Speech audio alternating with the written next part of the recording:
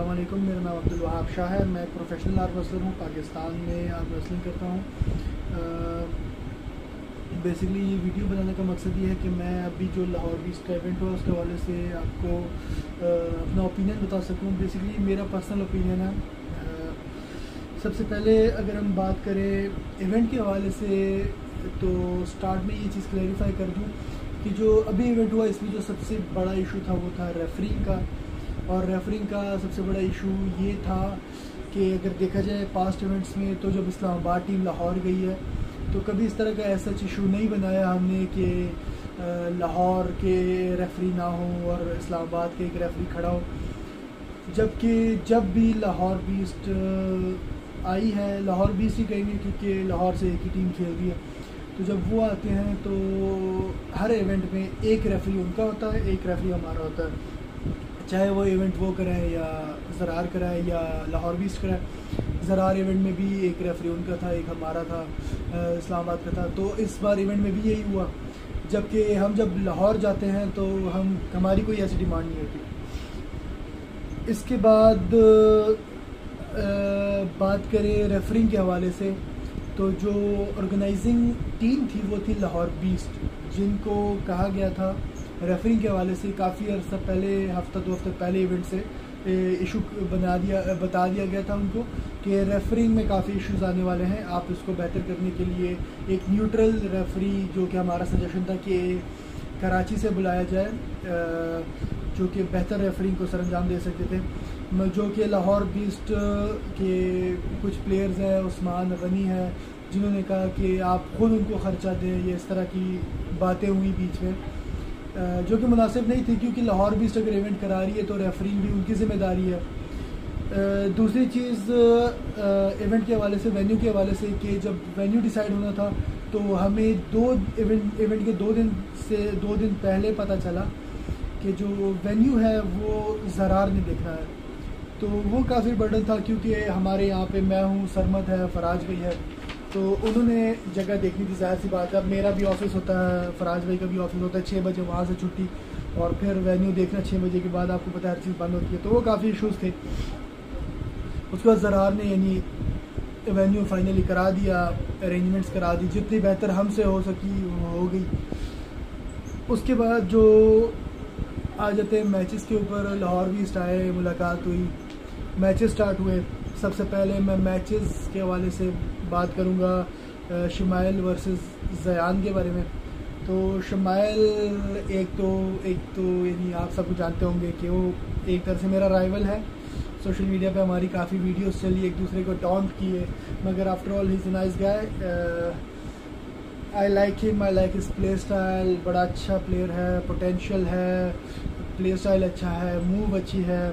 जयान को उन्होंने जिस तरह बीट किया I was expected that but still well played Shamail और उसके बाद शमाइल का लेफ़्ट में भी हुआ मुदसर के ख़िलाफ़, जबकि मुदसर लेफ़्ट में काफ़ी अच्छा है स्टिल शमाइल वॉन उसके बाद मैं मैच सलमान ख़ान वर्सेस वलीद के बारे में बात करूँगा,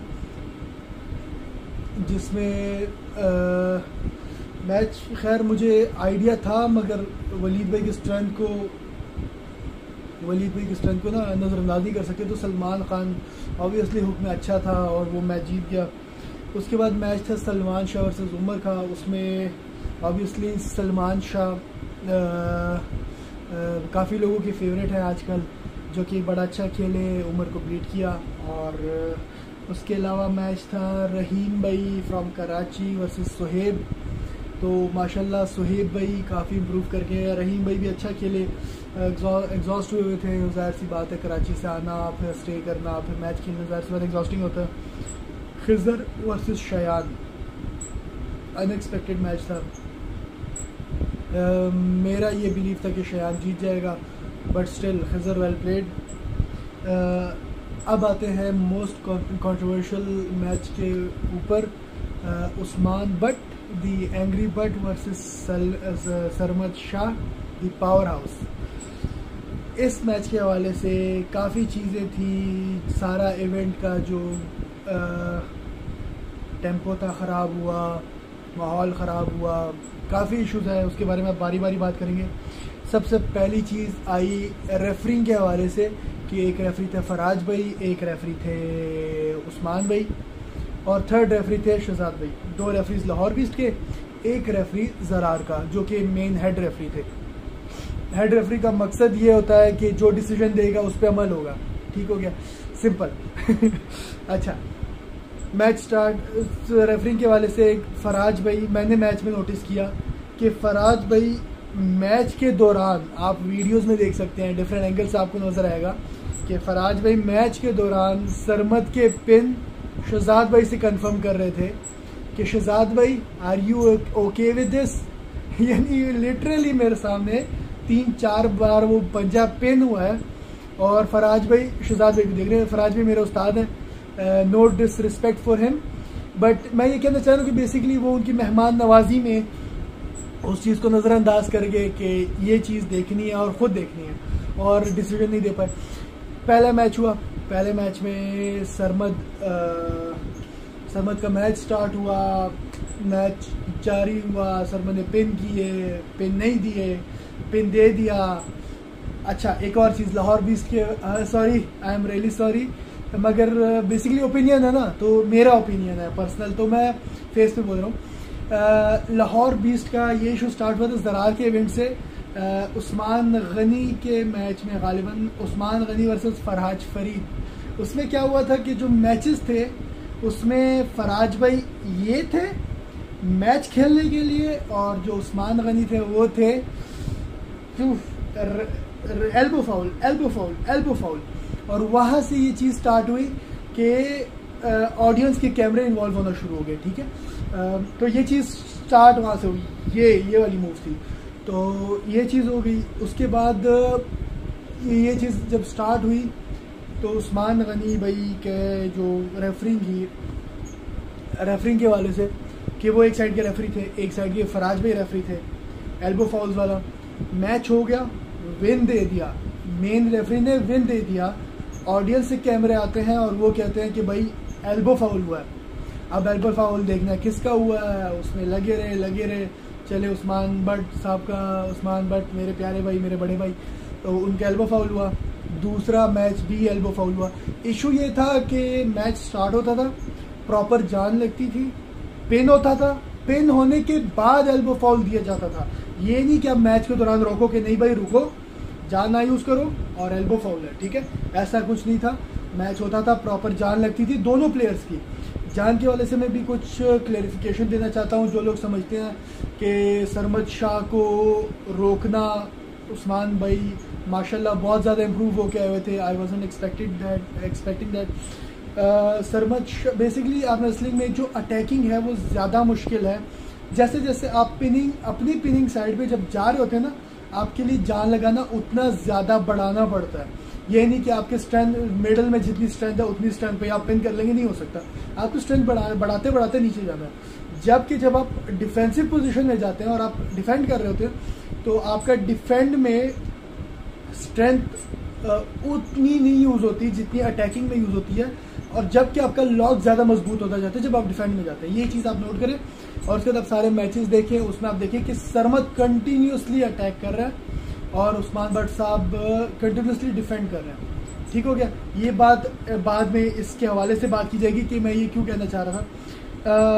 हम बात कर रहे थे एल्बो फाउल्स एल्बो फाउल दिए गए मैच पिन होने के बाद एल्बो फाउल दिए गए। पहला मैच सरमद विन कर गया। एक फाउल सनी भाई का हुआ, एक फाउल सरमद शाह का हुआ, और फिर एक फाउल उस्मान भाई का हुआ। सरमद शाह जीत गया। सेकंड मैच स्टार्ट हुआ। सेकंड मैच में मेरे ख्याल से गालिबा पहला एल्बो फाउल हुआ था उस्मान भाई का, दूसरा फाउल हुआ था सरमद शाह का। जो फाउल हो रहे हैं ना, ये मैच के दौरान नहीं है। ये मैच पिन होने के बाद फाउल दिए जा रहे हैं। ये हुआ थर्ड मैच यानी सेकेंड मैच का थर्ड स्टार्ट हुआ। एक फाउल एक फाउल और थर्ड दोबारा स्टार्ट हुआ। उसमें जो इशू हुआ, वो मैच स्टार्ट हुआ।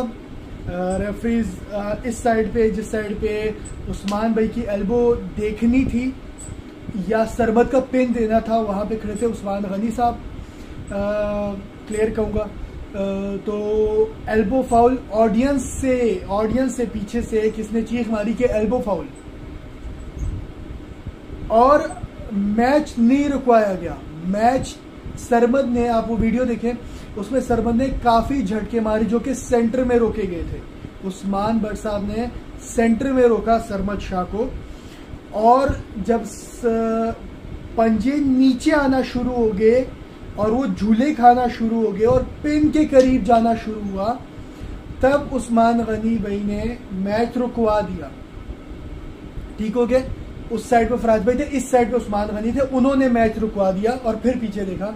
कि एल्बो फॉल उनको आइडिया हो गया था कि पिन होने वाला आ, बाद में डिस्कशन चली ये सारा कंट्रोवर्शियल कंट्रोवर्सी यहाँ से स्टार्ट हुई कि जब एल्बो फाउल हुआ एल्बो फाउल को रिव्यू किया गया within ten fifteen twenty thirty minutes Faraz भाई ने डिसीज़न दे दिया कि उस्मान भट्ट साहब का फाउल हो चुका है और सरमद विन कर गया।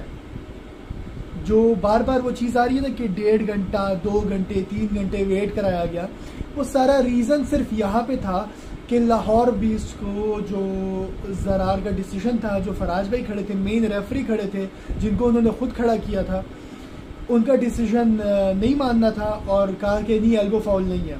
इसके हवाले से काफ़ी लोगों को वीडियोस भेजी गई, काफ़ी लोगों ने शहादतें मौसू हुई कि एल्बो फाउल है है। करते करते इवन के माइकल टॉट तक ये बात गई, यानी लिटरली माइकल टॉट तक ये बात गई और उन्होंने इस चीज़ का कहा कि जी, बिल्कुल एल्बो फाउल है और काफ़ी एंगल्स थे वहाँ से। एल्बो फाउल आप तस्वीरें भी देखी होंगी इंटरनेट पे, काफ़ी शेयर हुई हैं। तो बेसिकली वो एल्बो फाउल था। जो दूसरा इशू क्रिएट हो रहा है वो ये था कि लाहौर बिस कह रही है कि सरमद शाह ने अरीना छोड़ा, जबकि उस्मान भट्ट साहब वहीं पे थे। तो एज सच रूल ना हमारे पाकिस्तान में कभी फॉलो किया गया है, ना ही उन रूल से हम कभी खेले हैं, ना ही उन रूल से हम कभी वाकिफ़ हैं।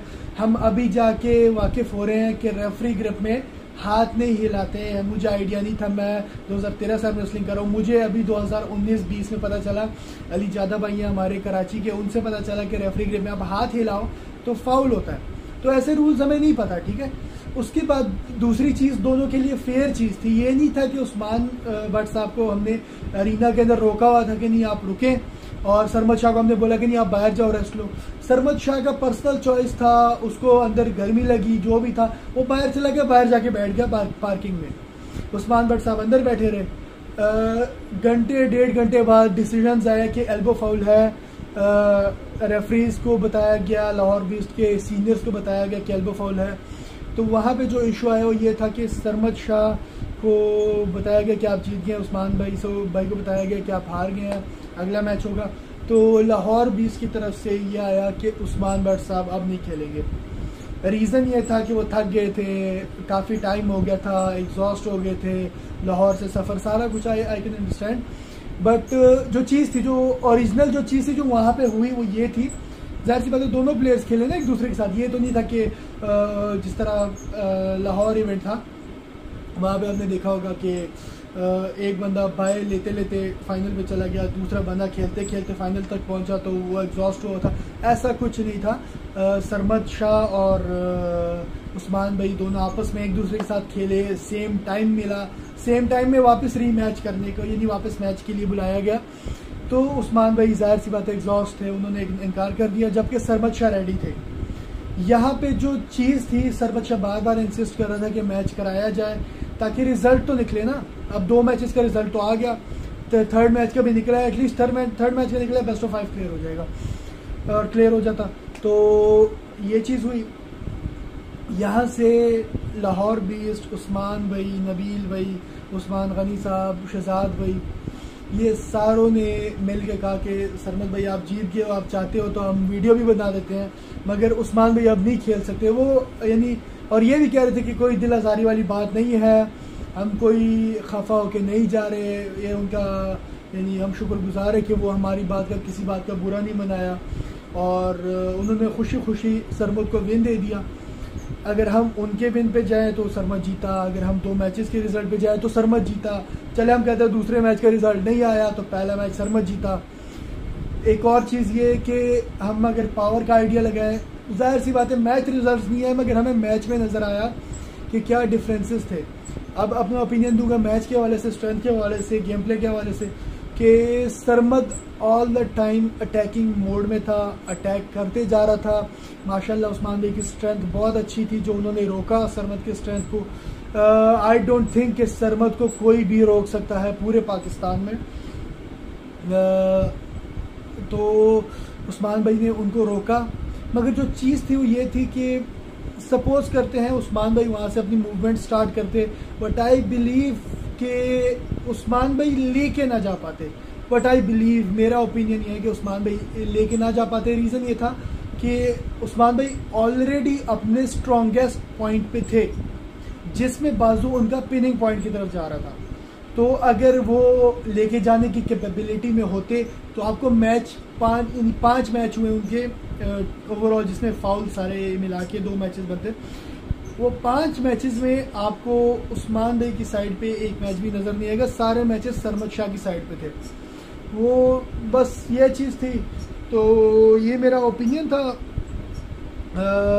कुछ रह तो नहीं गया किसी हवाले से। आ, नहीं दैट सेट इसके अलावा एक और मैच रह रह गया बड़ा important congratulation to Numan Khan आ, जो कि माशाल्लाह 18 इयर्स के हैं इस वक्त। और बहुत ही अच्छा टैलेंट है। माशाल्लाह उनके ख़िलाफ़ जो ओपोनेंट थे, वो थे उस्मान गनी साहब, जो कि काफ़ी सीनियर हैं। जब मैंने आर्म रेसलिंग स्टार्ट की थी, उस वक्त मे बी उनको में राउंड अबाउट तीन से चार साल हो चुके थे 2009 दस, ग्यारह से वो खेल रहे हैं। उसके बाद नुमान खान आई थिंक 2018-19 में आया था। तो माशाल्लाह बहुत अच्छा पोटेंशियल है, बहुत अच्छा खेला खेला। आप मैचेस देखेंगे वन साइडेड मैचेस थे। तो बाकी बेस्ट ऑफ़ लक उस्मान भाई for your future matches and best of luck to Numan Khan for future titles इनशाला that's it thank you so much thanks for inviting me on Armageddon Zameer